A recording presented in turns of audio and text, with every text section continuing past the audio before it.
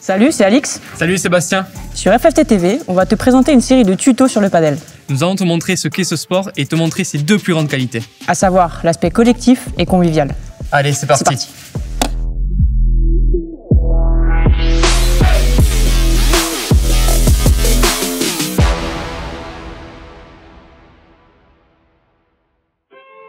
Né au Mexique dans les années 70, très populaire en Amérique du Sud et surtout en Espagne, le padel apparaît en France vers 1990 et devient une discipline associée de la Fédération française de tennis en 2015.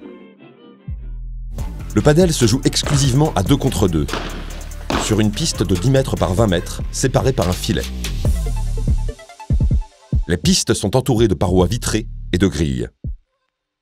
Les portes se situent de chaque côté au niveau du filet qui mesure 88 cm au centre. La surface est de gazon synthétique, plus ou moins sablé. À présent, parlons de l'aspect collectif du paddle. Tu vas voir qu'au-delà du jeu en équipe, il y a d'autres aspects collectifs qui sont intéressants. Allez Alix. À deux, il va falloir défendre son espace de jeu et attaquer le camp adverse, chacun s'occupant, si l'on caricature, de son demi-terrain. Pendant les points, chacun des deux joueurs a besoin de l'aide de son partenaire pour le suppléer physiquement dans certaines situations, mais aussi pour qu'il lui fournisse des informations sur les déplacements du bloc équipe adverse.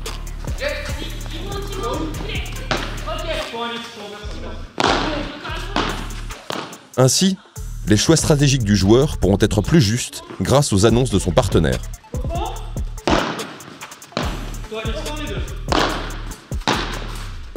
Entre les points, chaque joueur a besoin d'un partenaire au discours positif, besoin de ses encouragements et de son soutien, quelle que soit la situation.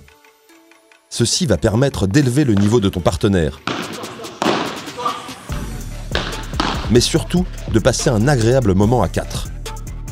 Le paddle est avant tout un sport convivial. Ce qu'il faut retenir. Le paddle est un sport récent, collectif, convivial, accessible et ludique. Bien joué. Merci, bravo. N'oublie jamais que derrière le mot équipe, il y a des notions de soutien, de solidarité, de communication, pendant et entre les points. Dans les prochaines vidéos, nous t'expliquerons plus en détail les règles du jeu ainsi que les différentes façons de jouer.